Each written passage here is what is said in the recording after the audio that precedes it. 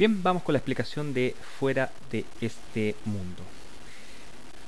Este es un efecto muy visual, muy bonito, es donde la gente realmente queda impactada y no se lo puede creer. Eh, y no requiere ningún tipo de manipulación. Lo único que necesitas es un naipe absolutamente normal y eh, una preparación previa del naipe, que es la que te paso a explicar ahora. Simplemente lo que necesitamos es que los naipes, el naipe, esté separado por colores. La mitad negra y la mitad roja. Previamente los tiene separados por colores.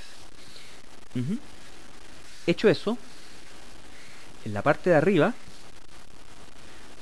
arriba deja dos cartas negras. Luego toda la mitad roja completa y finalmente todo el naipe negro completo. Obviamente el naipe no lo puedes dar a mezclar ni a barajar a nada.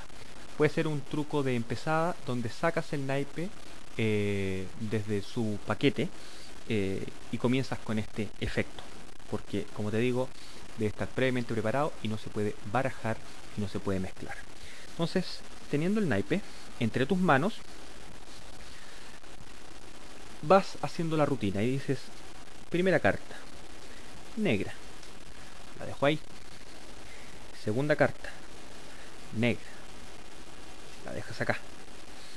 Tercera carta. Roja. La dejas ahí.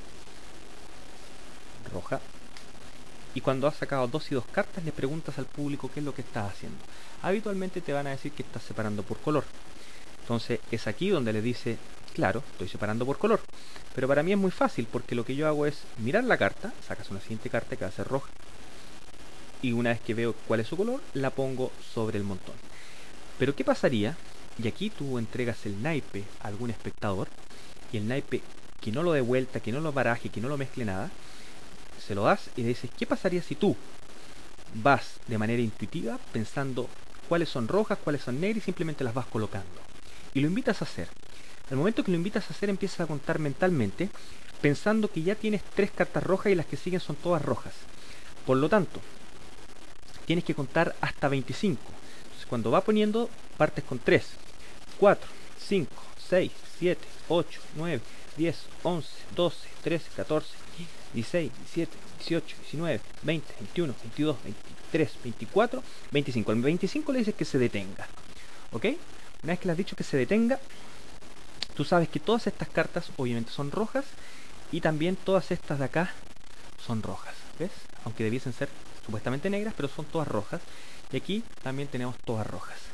Entonces ahora voy a sacar la última carta roja y lo que hago es ponerla supuestamente sobre el montón de las negras.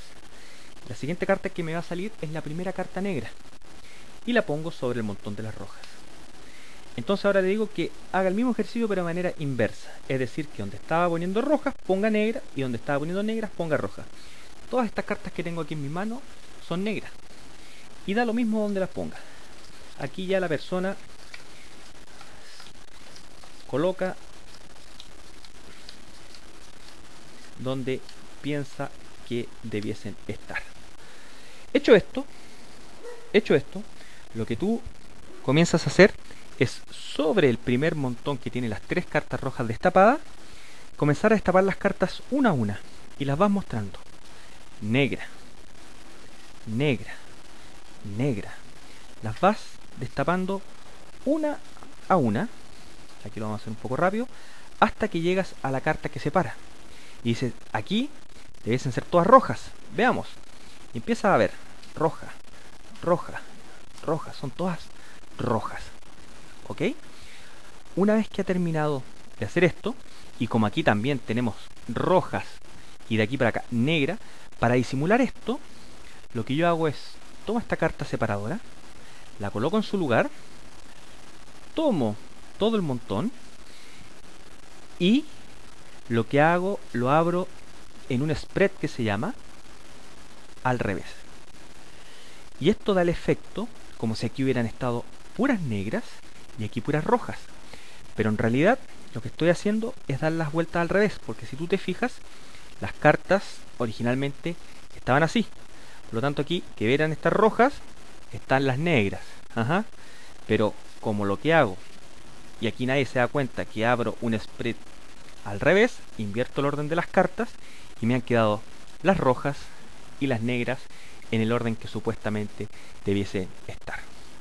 Practícalo un poco, requiere, tiene su dificultad, a veces te mareas con la cuenta, pero es un efecto muy bonito, muy visual que la gente no se lo podrá creer porque fue ella, el público, el que separó las cartas a su libre albedrío.